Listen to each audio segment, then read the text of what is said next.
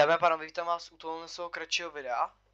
Um, omlouvám se, že fakt nic dlouho nevyšlo, uh, ale dneska bych vám tohle v tom kratším videu chtěl říct, co se bude dít na mém YouTube kanále, nebo vlastně co se bude dít na tomhle kanále 2023.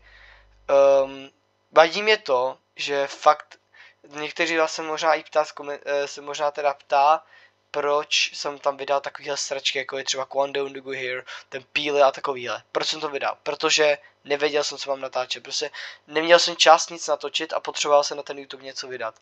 Každopádně se pokusím vydávat videa aktivně.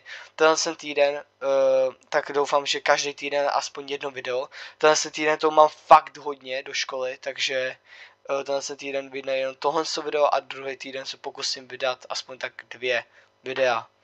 A budu se poku, pokusím se fakt vydávat každý týden jedno video. A e, schválně napište mi do komentářů, co bych měl natáčet, co by vás bavilo. A to je takovýhle kratší informační video.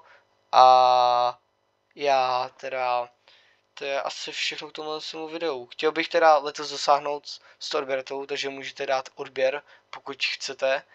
E, je to jen na vás. A jo, já se s vámi loučím, mějte se krásně, my se uvidíme u dalšího videa, který doufám, že už bude dobrý. Tak čus.